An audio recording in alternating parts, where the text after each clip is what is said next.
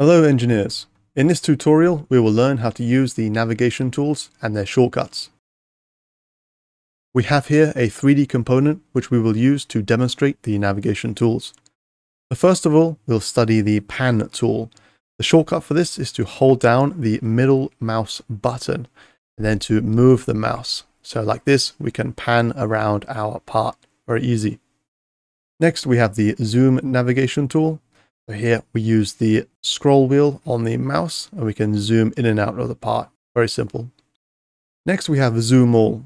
So to demonstrate this, I will zoom out of my part and I will pan it over to this corner here. Zoom all is where we can zoom to either our part or assembly in the entire graphics window.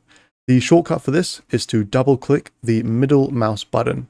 So for example, I will do that now. As we can see, our part is now right in the center uh, and visible in the graphics window. I'll just do that again. So I'll zoom out, I'll put it in a different corner, then I will double click the middle mouse button, and there we have zoomed all of our part. The next tool is Orbit. So for this, we hold down Shift and we hold down at the same time the middle mouse button. And then we move the mouse, we can orbit our part like so. On the right hand side, we have the navigation panel. So here we can actually select each of the tools we have already studied. So at the very top here, we have the pan tool. So if we select that, we can then hold down the left mouse button and pan about our part or assembly. Then here we have a series of zoom tools. So zoom, zoom all, so let's double click the middle mouse button. We can zoom to a window in which we can draw, or we can zoom to a selected edge or face. And just below that, we have the orbit tool. So if we select this, we now have this circle around our part. We hold down the left mouse button inside the circle. We can orbit the part like this.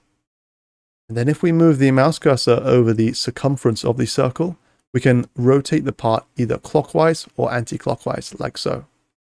Likewise, if we move the mouse cursor over the quadrants, we can rotate the part about specific axes like this.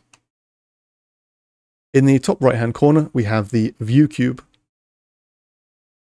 We have here the home icon. So if we select this, this will show us the default view on our part or assembly. And we also have here a series of faces. For example, the top view.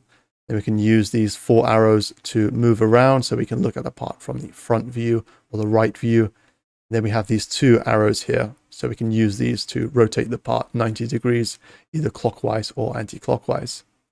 If I go back to the home view, we can also select corners or edges like so. Anything we can highlight from the view cube, we can look at the part or assembly from that view.